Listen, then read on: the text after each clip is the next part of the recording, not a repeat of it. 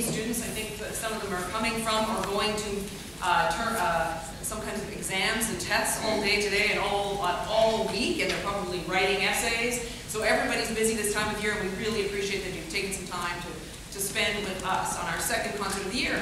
That first piece um, was by Jack Stamp. Jack Stamp is known in the wind band world for writing fanfares, really short fanfares. So when you don't have a whole lot of time and you need to get that fifth piece in, Jack Stamp is your man. And he writes the fanfares. It's a, sort of a joke when he retired. They said, "Who's going to write our fanfares?" And he laughed because he's a good, one, he's a nice person.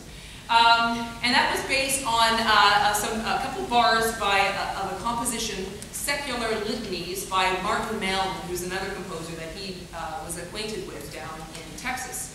This next piece is completely different. It's written by a female Canadian composer who lives in Regina.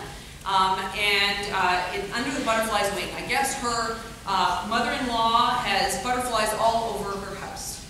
And uh, so she thought she would, you know, pay a tribute to her mother-in-law and write her a piece for, I think, her birthday. Um, for me, when I listen to this, I think about how fragile butterflies are.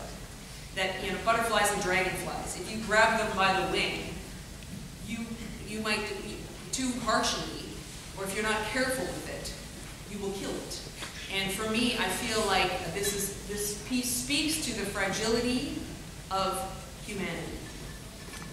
And if we're not careful, it's a wonderful piece. We hope